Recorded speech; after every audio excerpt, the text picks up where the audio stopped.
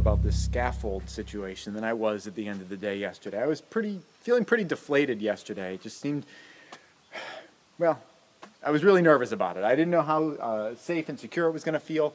But uh, at the end of the day yesterday, I took about an hour and a half and I put all these planks down. And these are uh, spare floorboards, tongue and groove floorboards from the house.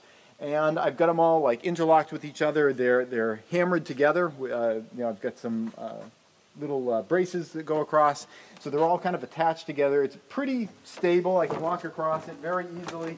There's a little bit of a bounce to the middle of it, but overall it's worked out really nice. I feel safe and secure on this. And I can focus, instead of being terrified of heights, I can focus on the work that I have to do. One of the difficult things with working straight off of a ladder is that, you know, you, you have the immediate area that is in front of you, but if you really need to work further off to one side or the other side, you have to go all the way down the ladder, move the ladder, and then go all the way back up the ladder. With the scaffold, it's been really great. Uh, I've been able to uh, walk side to side as I've been working, you know, putting up these uh, pieces of strapping, putting one nail in, the next nail in, the next nail in. That'd be a really tedious process using a ladder. I'd probably have to have poles holding up one end of it while I kind of walked around. It's really uh, added to a lot of the efficiency having this. So I'm, I'm glad that I set this up. The plan is that I'm going to do this entire wall, get it all done, then break all this stuff down, bring it over to the other side.